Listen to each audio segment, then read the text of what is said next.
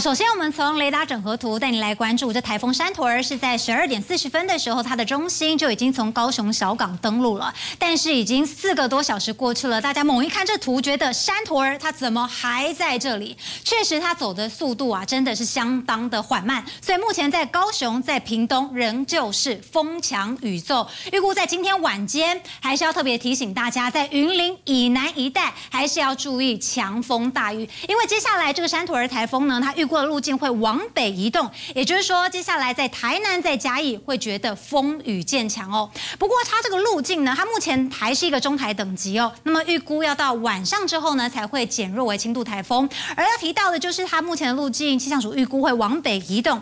其实比起原先预估可能会越过中央山脉来对比的话，它被破坏的状况可以说是。比较减缓下来，但是气象署也预估了，它接下来在往北移动的过程当中，它的强度仍旧会持续的减弱。但是包括了在今天、在明天的上半天，这这段时间呢，它仍旧会以台风的形态影响我们的天气。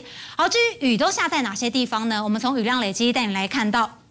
我们不断看到新闻画面出现的，就是在新北市的瑞芳，因为从凌晨零点到现在，累积雨量已经来到了五百三十四毫米。当地居民就形容铁道好像已经变成了水道，很多的民宅也都淹水了。所以大家很好奇，明天会不会放台风假呢？让他们可以好好的来清理家园。另外看到了，在高雄的人物有四百三十七毫米，还有在屏东的春日也是突破四百毫米。至于时雨量的部分，第一名是在高雄的燕巢区九十三毫米，还有在高雄市的田寮区五十八。毫米，所以第一名和第二名还是在高雄，所以要提醒大家，现在在高雄仍旧是风强雨骤。随着台风，如果依照气象署预估的路径来看，接下来就会进入到台南，大家一定要特别留意当心了。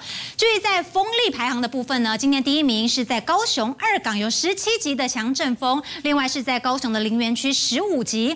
要特别提醒大家，随着台风逐渐的北移的过程当中，接下来呢，在嘉义以南，还有在绿岛蓝屿。澎湖、金门也可能会出现九到十一级的强阵风，提醒大家在晚上的这一段时刻还是非必要不要外出哦。